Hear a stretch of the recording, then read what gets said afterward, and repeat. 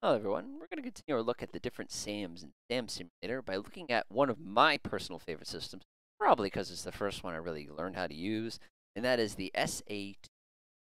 This is the non-export scary 6 centimeter wavelength version. This is pretty cool. You can see visually the differences between the export version and Russian version. So anyway, we're going to go to Shuluk. We're going to set up a very similar scenario to what we did before. Go ahead and load ourselves up with some missiles. We're add a, a radar reflector. Then we're going to go ahead and set up a jamming radar reflector uh, off to the southeast. Then we're going to go ahead and push the start button. So uh, looking at the control panel on this thing, once it comes up, you're probably going to recognize everything pretty much right away. Some of our buttons have moved a little bit, but in general, it's roughly the same thing. The first thing I'm going to do is come down here and press the power button. Then I'm going to go ahead and activate. I don't want to use computer fuse. I want to actually go ahead and use the real thing. Then I'm going to go ahead and turn on my missile control channels. And now things get interesting. Because in this one, the antenna switch is here instead of, which you're probably used to, where it's over here on the F model. I'm going to go ahead and turn that on. I'm not going to energize my radar because I don't need Very important. What I will do is I'll call up my little guys and say, could you give me six missiles ready to go? So um, we have the plotting board again. And you see this is target exactly almost north. We have another target pretty much southeast. So uh, how do we use this system? By the way, pressing this button like before will cause your missiles, represented by this red line, to line up with where your radar is pointing. So how do we use this one? It's a couple different ways. First method is we can come over here to um, IADS plotting board, click on 1201, and then you can actually come here and uh, press this button to the right, and it will uh, it will actually pre-aim everything for you without you even needing to press a single button. You see, in this case, we're dealing with a target that's 23 kilometers away. It's a pretty good distance. Go ahead and switch to the shorter distance real quick. Uh, let's see here. Uh, good distance. Wait, this is just zooming.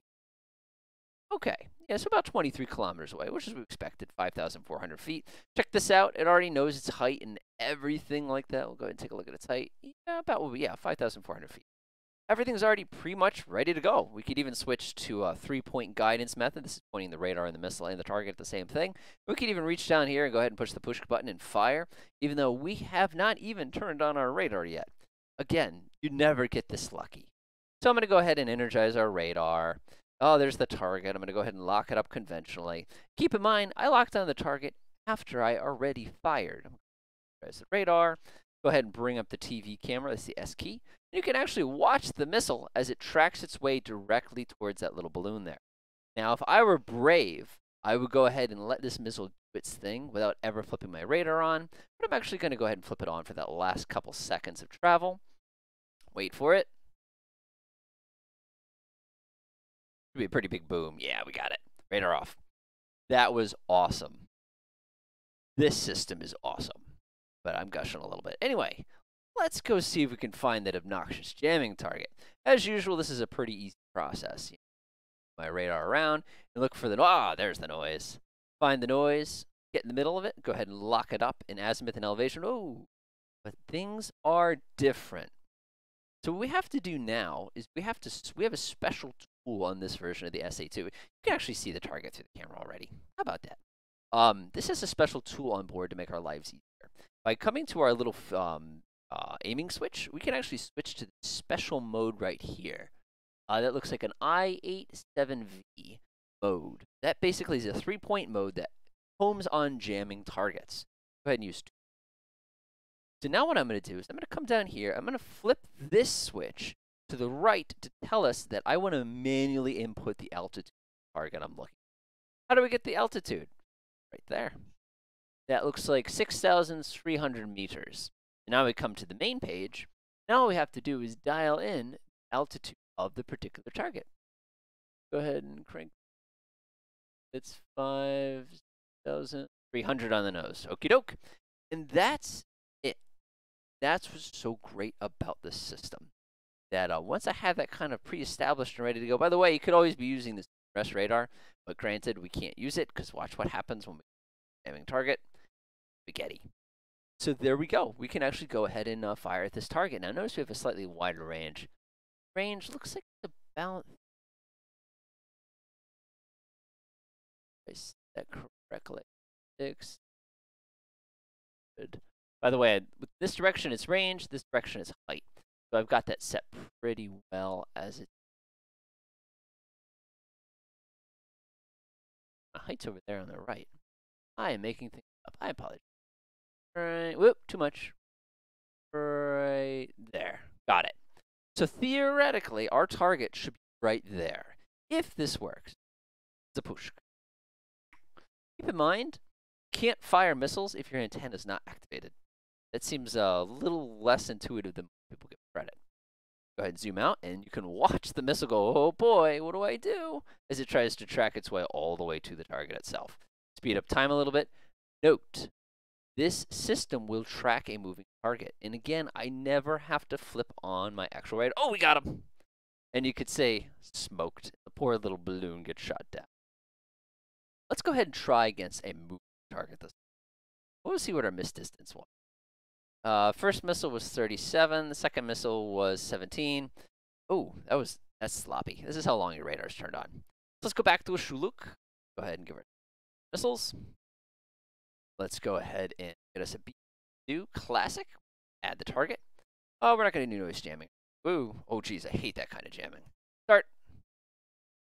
Go. For some reason, it's already turned on. Nothing seems wrong about that. Oh. Apparently, I forgot to shut jamming off. Oh well. Doesn't bother me. Go ahead and switch to my uh, anti-jamming modes. We need to figure out what his height is. His height is 137. Oh boy. He is up there. Let's go ahead and uh, use our little gauge here. That is a 1, 1, 1, 2, 1, 3, 7. Woo. Too much. 3, 7 right there. And now we're ready to fire. Ah, that's kind of a bummer. I accidentally left jamming on. This would have been a heck of a lot easier. Doesn't matter. Uh, when you do the actual scenarios that are built into this program, you're going to be doing jamming shots all the time. So you might as well get used to it. Uh, let's see here, 137. I kind of want to confirm his altitude stays at 137, 13.7 kilometers before I actually take my shot. And I'm definitely going to be firing a pair this time, and I'll turn one on radio fuse. Um, not all radio fuse. Oh, no, that makes no sense whatsoever. Leave this fuse off. You want to use your proximity. I can actually see him in the camera, so that tells me at least I'm looking at something, not being a uh, deception. All right, here. Speed up time just a little bit. All right, get ready for the shot. Okay, now we need to confirm he stayed. Now he's down to 124. Okay, so he did lose some altitude. I was right. Four. The pushk. Uh, that was early. Yeah, I don't think that one's going to get him. We're going to try, but I don't think it's going to get him. Uh, let's go with the other one. The pushk. And off the missiles go. Now keep in mind, this is a jamming, moving target. I miss a lot. That's what I'm saying. Okay, what you're actually seeing is the contrail. In a minute, you're going to watch my missile come catch up to him. Speed up time a little. Oh, he's turning. Oh, we got him. You're not going to... Whoa, look at him maneuver. That's impressive. Okay, let's watch what happens. Oh, got him. Okay. So apparently my demonstration was actually fairly effective because uh, we nailed him. And again, we never actually turned our radar on, which shows you how incredible this Is. Okay, let's go ahead and take a look at our results. Remember, this was a jamming target I hit. All right, looking real quickly. Uh, we missed him by 36 meters. The second missile, obviously, was the one that was chasing debris. They missed them by two. All right, so uh, hopefully you guys enjoyed that uh, little tutorial. I really like this system. If you want to really learn a system well, this is the one. If you were focusing more on Vietnam scenarios, this is really a good one. If you want to focus more on, you know, other kinds of scenarios, this is a really, really good one. All right, enjoy.